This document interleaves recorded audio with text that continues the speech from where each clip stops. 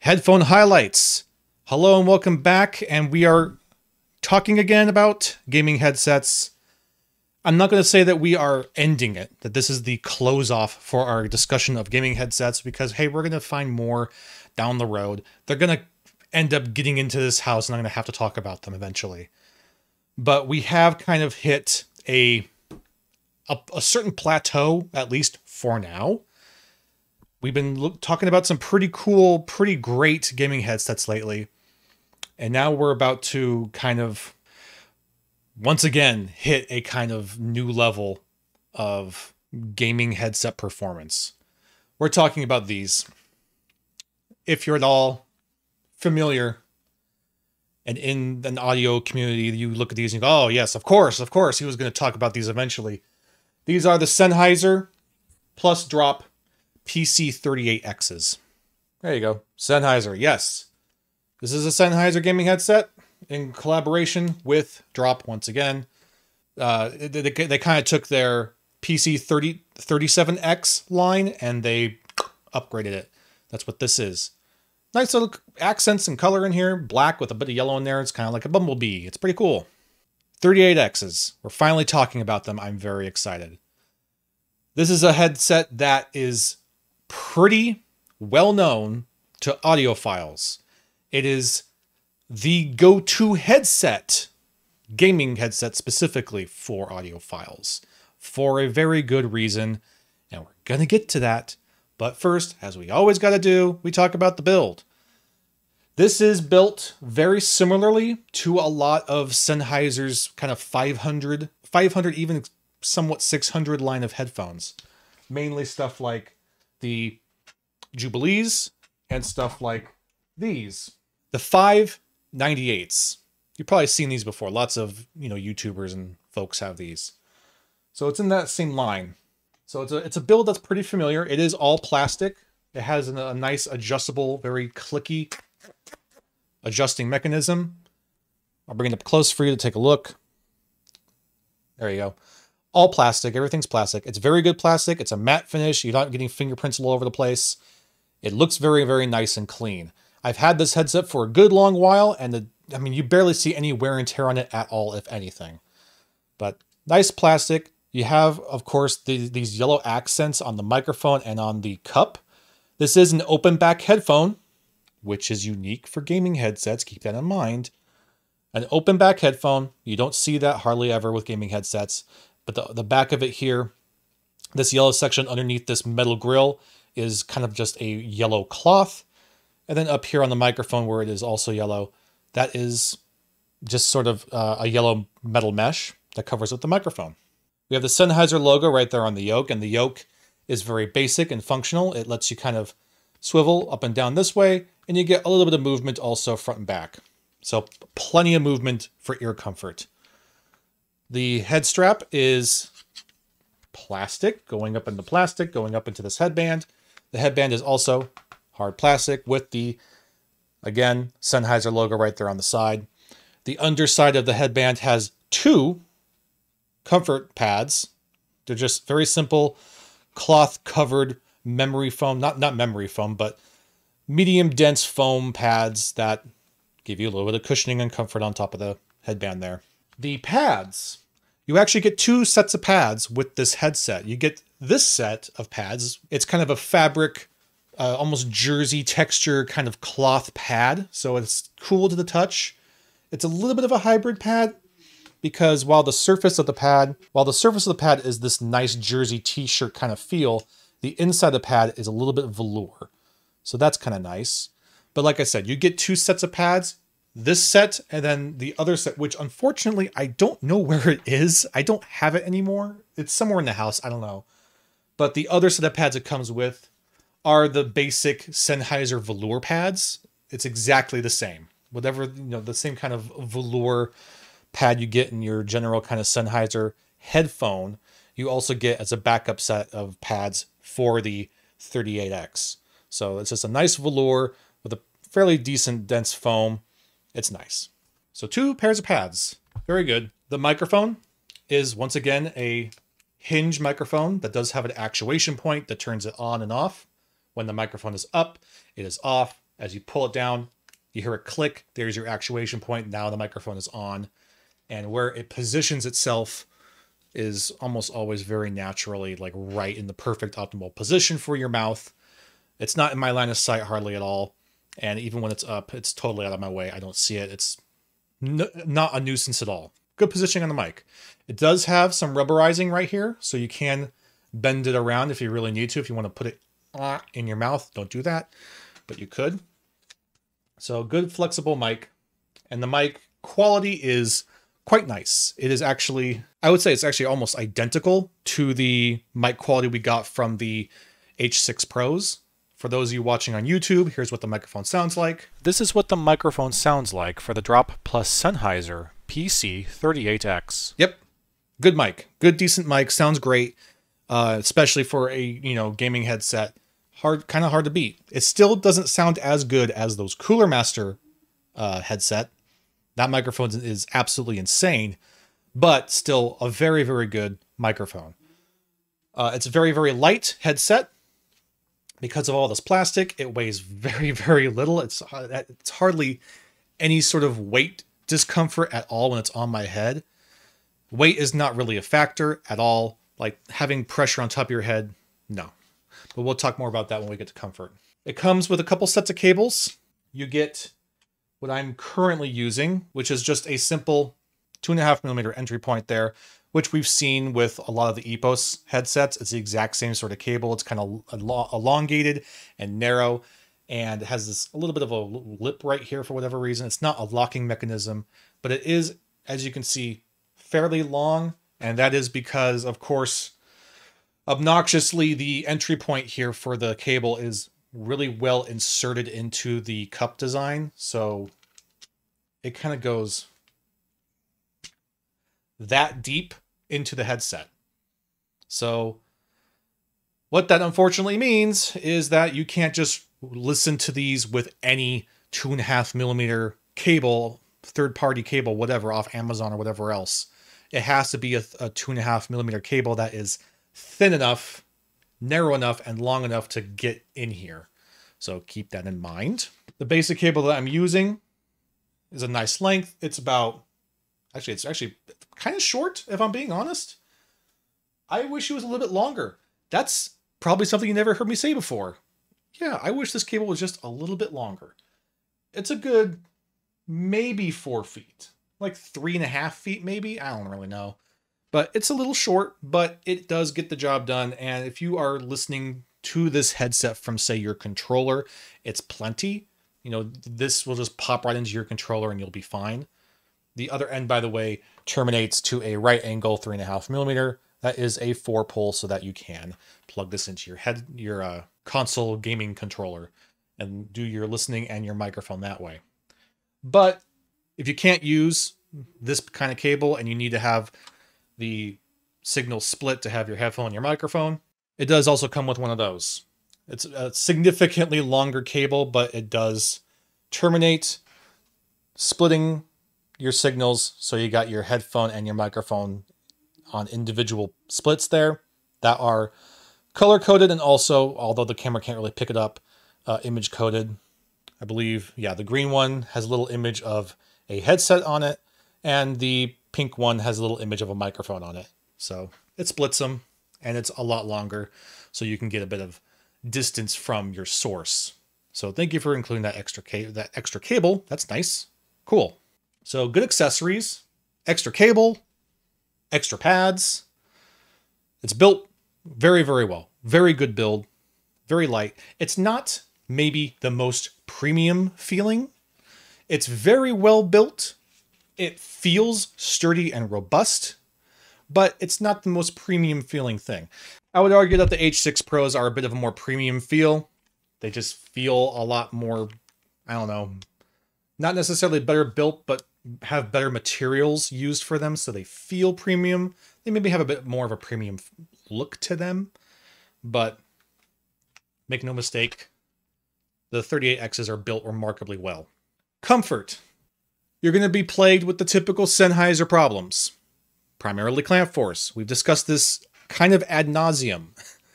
But yes, these also suffer from the same clamp force issues that other Sennheisers do, that uh, the, the EPOS headsets that we've talked about have had lots and lots of clamp force. And they are an oval shape pad and ear cup, so you are getting a little bit of it kind of reaching down into your jawline. It's not great. It's not the most comfortable thing in the world. Fortunately, like I said, it's so light that the top of the headband I barely notice at all. I don't even really feel it with with or without the beanie. And uh, the padding up here is perfectly substantial. I don't feel any pressure points at the top of my head at all. Now, the clamp force, fortunately, is a lot more evenly distributed than it is on those EPOS headsets, on the H6 Pro and the H3X. So rather than it kind of forcing the majority of that pressure right down at the bottom of the pad, right where your jawline is, it's a lot better distributed. It's kind of perfect, almost perfectly right dead center. Gets us out of your head here. So the distribution's a lot better, but it's still a lot. It's a lot of clamp force. And once again, the solution to deal with it is to stretch these out. Now, similarly with the H6 Pros, I would not recommend bending the headband itself because this is not a metal headband. This is plastic. It's not going to bend and give the same way that it does with the H3X. It's going to mm, potentially break if you're not careful with it. So instead, I suggest you put this over something and let it just rest. You know, put it over a box, put even the box it came with, and that'll be fine. I'll use this headphone carrying case as a to kind of prove my point here. But yeah, you just put it over something like this, stretch it out naturally, leave it like this overnight or you know over a week if you really want to be crazy about it and it'll really help get rid of that clamp force. Now you do want to have some clamp force, you don't want to get rid of all of it because one, it ensures that the headphone stays on your head, but also it ensures that you are getting the most sound performance because the more clamped onto your ears those cups are, the closer your ears are getting to those drivers and therefore getting the intended tuning of this headphone. Headset, sorry. Uh, we will break it down once again. the comfort, how it is out of the box versus how it is after you've had a, you've had some time to stretch it out. Out of the box, it's not as bad as the H3X or the H6 Pros. I gave those like a four clouds of comfort right out of the box because man, did those hurt. These are a lot better, but still not superb. I'm going to give these out of the box a five and a half clouds of comfort. They're substantially better than those EPOS headsets, but they're more on par with kind of like the 6XX kind of comfort. But after you've had some time to stretch them out, seven. Seven Clouds of Comfort. Very usable, very good. Good stuff. Good comfort. The sound. Okay. Gamers, pay attention. All you gamers watching right now. All of you. Gamers, hello. How you doing? I'm a gamer too. This is important. This is the best sounding headset. My my mother couldn't handle that information, just turned off and turned back on. This is the best sounding headset. Yep, crazy, you're a gamer? Here you go. The best sounding headset. The best one. Every headset we've heard, even the ones that are wonderful and great, the Cooler Masters are awesome. The H3Xs are awesome. Best. This is the best. These are the best ones. The best gaming headset in terms of sound performance. Bar none. I have yet to hear anything come close to these in terms of gaming headsets. And there's a very good reason for that. Because this headset is based on the 500 series line of headphones. That's a really big deal. I don't think it's exactly the same driver, but it's extremely close when it comes to tuning. This sounds like just a straight up genuine Sennheiser headphone. It doesn't sound like a gaming headset. It's not overly bloated with bass. It's not overly tinny and chimey with uh, treble detail. It's a headphone, a Sennheiser headphone, and with a microphone on it, specifically with the H6 Pro microphone on it. A great microphone on a great sounding Sennheiser headphone. This has to be recognized. The best sounding gaming headset just sounds like a freaking headphone. We saw this coming. All the headsets that I have praised the most have sounded the most like just basic headphones. But this takes the cake. This this this takes it all the way to just sounding straight up like a, a regular freaking headphone. Wonderful, amazing sound out of these head this this headset here. It's still got a good, punchy, enjoyable low end. Understand that. You're still getting good low end out of this. It's still fun. Explosions and artillery sound immersive, but it's controlled. It's a controlled low end. It's not bleeding everywhere and rumbling everywhere and getting obnoxious and noisy and covering up your detail. It's a precise, quick, fast, and well controlled low end. Mid range, forward, it is right out there in front of you. You're getting all the detail, all the all the information you could need. Vocals are have a, such a natural timbre to them. They sound amazing. They sound real. They sound like they're right there. They're clear as day. Your treble range is very well detailed. It's sparkly. It's brilliant without being sibilant. It's a wonderful amount of treble with a wonderful amount of detail. Soundstage, you got it. You got soundstage. It's not a gigantic amount of soundstage, but it's a very immersive amount. It's like here. Boom, boom. Soundstage. These actually sound like open back headphones as opposed to the H6 Pros, which, while I did get the open back version, did not sound like open back headphones. These do. This sounds like an open back because because they just sound like regular Sennheiser headphones. Imaging is incredible. Imaging is amazing. It is very, very precise. It is 360 degrees all around you, and you can very easily pinpoint and identify where things are coming from. And you feel the sensation when things fly over your head, over your shoulders, when they're behind you. Very precise imaging, coupled with very good soundstage, so it has a very, very immersive feel to it. And this is like mostly gaming stuff I'm talking about. I'm kind of going backwards with this. The gaming experience on this is wonderful. It is super fun while also very clear and competitive. You're getting the information you need to be competitive, but you're also able to enjoy it because it just sounds so freaking good. But you could also just straight up listen to music with these very competently. And that is because this is basically here's what this all right, here we go. What does this sound like? What's the closest comparison I can give this to? These. You have your Jubilees and you have your five nine eights. I'm making a. I can't. Hold on. Hold on. Hold on. I'm getting. I'm getting excited and I'm getting a little like floppy with my presentation skills. You have your jubilees. You have your five nine eights. Okay. Five nine eights were kind of like a nice entry level audiophile experience, but they sounded great. These sound uh, really, really quite impressive for what they are. The jubilees take it up a pretty significant amount. They're up there with, you know, they're com- not really competing, but they're a nice side to something like the 6XXs. They're nice. They're lovely. They're a lot more fun than the 6XXs. They're not as analytical. They're not as high resolution, but they're very, very nice, as are these. These have a bit more whomp and thump in them than the 598s do, but the 598s have very good natural timbre and a nice even sound signature, very neutral sounding.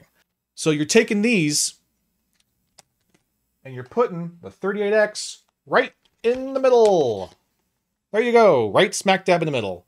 That's where that's where it sits, uh, somewhere between the three. It has a very neutral kind of sound signature, but it does have a bit more of a slight warmth in the low end, similar to the Jubilees. It is a lot more higher resolution and detail than you get out of the 598s. Not quite the same amount of resolution that you get out of the Jubilees, but still.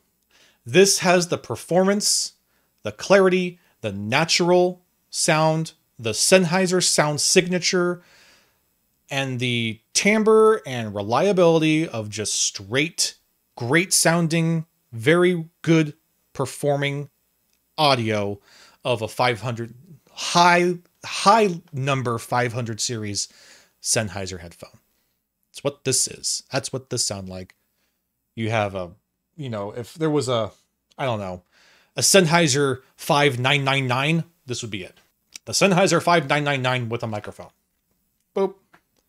Like something right before hitting your 600 range kind of situation. Excellent sounding flippin' headset. I cannot stress I cannot stress this enough. This is the best sounding gaming headset. It's the one to beat. I have yet to hear anything better. It's incredible. It's amazing. It is expensive. This is this is a $160 headset. That's a lot, though it one is the exact same price as the H6 Pros. So forget the H6 Pros and just get these if you have that kind of money. But also, they go on sale a lot. Um, I often see these for like 120 bucks. And for that, you're getting a hell of a deal. Oh my gosh. Here it is. What's the best sounding gaming headset? The PC38X, right here. And this isn't a new headset. This headset's been out for a number of years, and it is still the best sounding headset. Still is. Here we are in 2023, and this is still the best headset I've ever heard. I mean, I can't get much more straight and honest about it. There it is. Gamers, you want to have the best headset? Here it is. That being said, that being said, I'm going to annoy a lot of you. I'm going to annoy a lot of you right now.